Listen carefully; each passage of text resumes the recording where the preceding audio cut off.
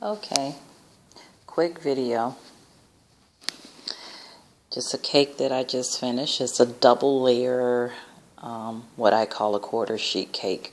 My quarter sheet cake. Um, yellow chocolate, buttercream icing. And this was, um, it's a cake for a 13 year old um, who loves riding horses and, of course, country western. Her mother wanted a blingy belt to go with um, her, um, looks like a little bit of the color. Kind of needed to be brushed there.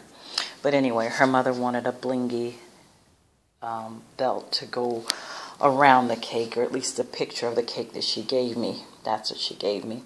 She gave me a, a cake that was probably about enough for 250 people this cake only needed to serve 12 people. Plus the cake, the um, the boot itself was three-dimensional um, in the picture that she gave me. I chose not to uh, make a three-dimensional. This is two-dimensional um, boot. It was more work.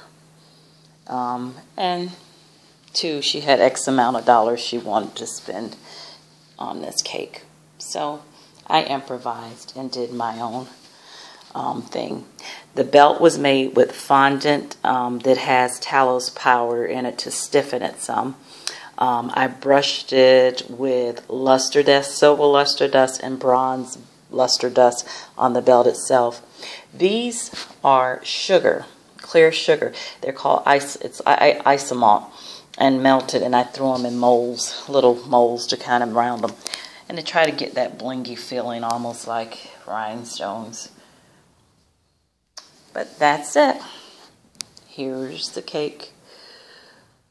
Glad I'm done. I didn't make um, a video of the cake that I did yesterday, um, but I'll include pictures.